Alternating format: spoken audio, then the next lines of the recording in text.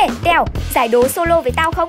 Tí hôm qua mày thua sắp mặt lên bờ xuống ruộng Thế rồi vẫn còn muốn đấu hả? Tao phải phục thua mày Thua gì cũng được Nhưng fan cứng cựa của chị Chí mà để thua như thế Tao không phục Osuke con dê Chiến luôn Đấy các bạn Vừa rồi là cuộc hội thoại của hai chiếc fan cứng dựng đứng của nhanh trí Thông minh như anh em mình Thì ngại gì dăm ba câu đố nhỏ Video hôm nay sẽ có một đóa hoa 1 tỷ hay cách ăn bánh tráng theo phong cách nhà hàng năm sao, vân vân và mây mây sẽ có ngay ở video hôm nay. Bắt đầu nha. Đầu tiên là một câu đố mất tiền, phải kể ngay câu chuyện test hai vạch Covid mà người người nhà nhà đều có câu khẩu hiệu ai rồi cũng phải F0 thôi. Vậy đố các bạn, nếu test Covid dương tính thì phải làm gì đầu tiên?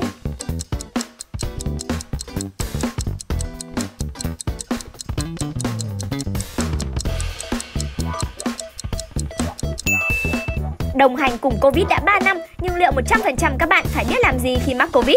Mới đây có một chiếc video về người phụ nữ đã uống thuốc diệt cỏ khi biết mình mắc Covid và đó là hành động hoàn toàn sai. Covid đáng sợ, nhưng nếu như lỡ có từ FA thành F0 thì cứ bình tĩnh thực hiện 5K, khai báo y tế, chuẩn bị thuốc hạ sốt, thuốc bổ, ăn uống đầy đủ ngủ đầy giấc rồi sẽ nhanh khỏi bệnh thôi. Tiếp tục là một câu đố kinh điển trong làng đố thách thức các thánh soi, đố bạn tìm ra điểm không đúng duy nhất trong hình.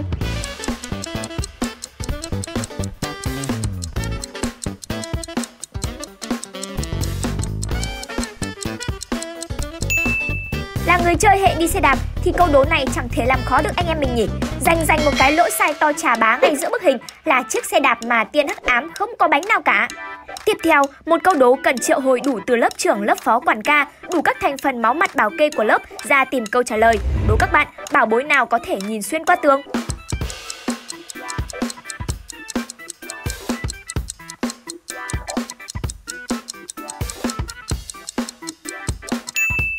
Ái chả, mới 5 giây đã có bạn comment đáp án rồi. Nào là dùng mắt của siêu nhân điện quang Nào là dùng bảo bối vòng xuyên thấu của Doraemon. Nhưng mà chị ong no no no no no. Sai hết rồi các bạn ơi. Cái đáp con nhà bà án chuẩn không cần chỉnh Là cửa sổ cơ. Giữa bức tường mà lắp cái cửa sổ thủy tinh vào Thì nhìn xuyên hết rồi còn đâu. Đố mẹo một câu mà các bạn tỉnh táo quá Yêu cầu sang ngay câu sau ngay mới sợ.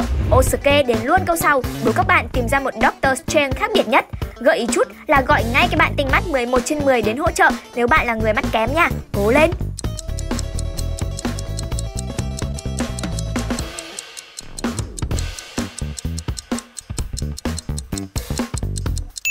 Hết thời gian suy nghĩ rồi, đừng mải ngắm nghía rồi nhớ về những ngày tháng làm bạn với các siêu anh hùng Marvel nữa. Đưa câu trả lời đây nào, nhanh trí trước nha. Doctor Strange khác bọt nhất chính là người này. Những người khác có 12 cánh tay, nhưng vị phù thủy này chỉ có 10 cánh tay thôi. Hey anh em, hỏi nhỏ này, ở đây có bạn nào là fan cứng cựa của bộ môn kem trộn? Thấy nhầm, là bánh tráng trộn không? Eo ơi, nhắc đến là lại nhớ cái vị chua chua cay cay, khoái chảy nước miếng luôn.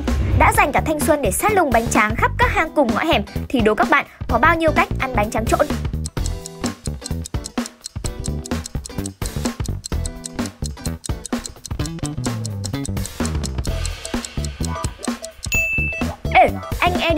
Ăn bánh tráng nhiều nên não trộn toàn bánh tráng rồi họ. Bánh tráng trộn thì cứ thế mà trộn lên rồi ăn thôi Chứ sao mà còn cách ăn khác? Sai rồi chị ơi! Đáp án chính xác là có nhiều cách nha. Là anh kể cho mà nghe. Ngoài trộn lên thì có thể ăn mà không cần trộn Còn có thể ăn theo phong cách quý sở tộc như thanh niên này nè. Đã quá men! Đấy các bạn ạ, à, nhà có ông anh được của nó luôn Gì cũng biết tuốt, đố các bạn tiếp đây. Trong những cách sau đây, cách nào xin đồ chơi mới từ bố mẹ bá đạo nhất?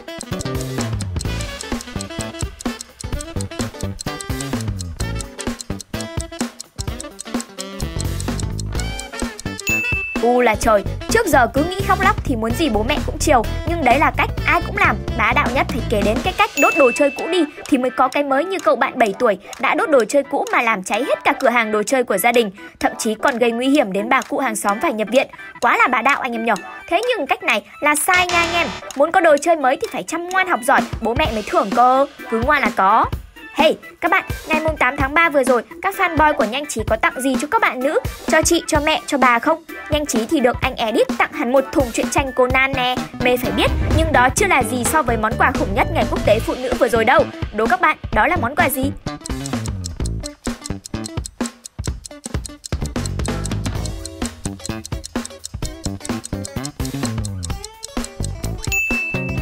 em Có câu nói tiền nhiều để làm gì Thì để mua quà cho vợ thôi Và người có tiền luôn có cách tặng quà không giống ai anh em không thể tưởng tượng được đâu, Ngày 8 tháng 3 vừa rồi có một vị đại gia miền Tây Đã tặng cho vợ mình một bó hoa nặng 4kg Trị giá 7 tỷ đồng với 100 cây vàng Quá khủng phải không Nhanh trí mà xin được một cành, Chắc nghỉ làm video mấy ngày rồi Ngồi nhà ngắm mắt thôi Fan nhanh trí có ai quê miền Tây không nhở? Comment ngay tỉnh thành nơi mình sinh sống để tự hào về miền đất toàn đại gia này nha. Mà nhắc đến nhanh trí có thêm một câu đố thách thức cả những bạn thông tuệ kiến thức, đông tây kim cổ cũng chưa chắc đã giải được. Có ngày quốc tế phụ nữ thì có ngày quốc tế phụ nam không?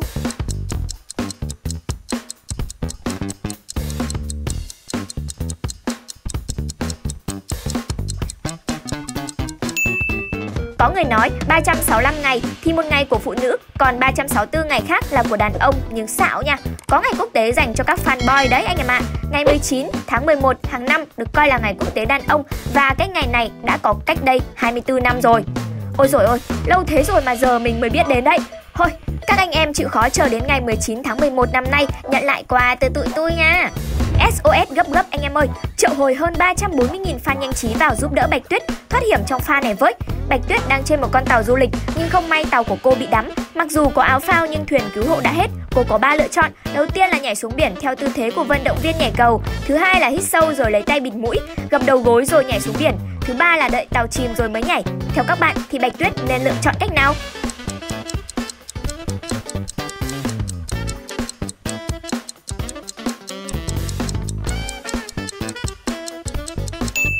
Hey, về cái khoản bơi lội thì anh edit bán cho em cái đáp án luôn anh ơi. Chuẩn không cần chỉnh mà chỉnh là hỏng nên Bạch Tuyết lựa chọn cách thứ hai, hít sâu, lấy tay bịt mũi rồi gập đầu gối nhảy xuống biển. Vì Bạch Tuyết không phải vận động viên chuyên nghiệp nên áp dụng theo cách thứ nhất có thể khiến cô sai tư thế, bị sặc nước. Việc đợi con tàu đắm cũng không khả thi vì khi đó đồ đạc và các thanh vịn của tàu có thể quẹt chúng khiến Tuyết bị thương. Một câu đố thử thách khả năng super soi của anh em tìm được câu trả lời trong 7 giây thì các bạn quả là có đôi mắt tinh như sao trời. Đố các bạn ai là chồng của Suka?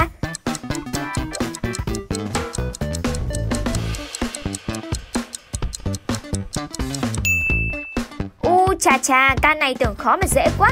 Mới 3 giây mà mình đã tìm ra cái đáp con nhà bà án Chính là người ở ngoài cùng bên trái. Vì anh ta có xăm hình tên Shizuka trên cổ Mà vòng cổ của Shizuka cũng có chữ S kìa. Như là biết ngay cặp đôi rồi anh em nhỏ. Nhanh trí lật mặt nhanh hơn cả người yêu cũ các cậu ạ. Mới rồi bảo 13 câu mà giờ mới 11 câu đã muốn tạm biệt anh em rồi. Thôi kệ đi, cùng sang câu đố chốt cho cuộc đua ngày hôm nay nha. Có tổng số 100 con trâu và 100 bó cỏ. Có 3 loại là trâu đứng, trâu nằm và trâu già. Mỗi con trâu đứng sẽ ăn 5 bó cỏ, mỗi trâu nằm ăn 3 bó cỏ. Trâu già thì ba con ăn một bó cỏ. Hỏi số trâu mỗi loại là bao nhiêu? Biết rằng theo như cách chia cỏ trên thì tất cả là 100 con trâu, 100 bó cỏ.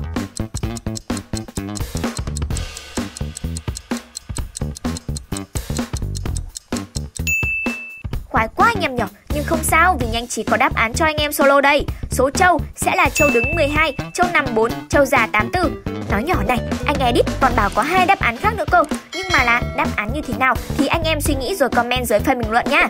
Khoái khoái, mới đấy mà đã đi qua 9 phút cuộc đời rồi. Nhưng là 9 phút cực kỳ quý giá phải không anh em? Vừa được giải đố lại còn vừa được rèn mắt, luyện não thì chỉ có thể ở nhanh trí thôi. Bye!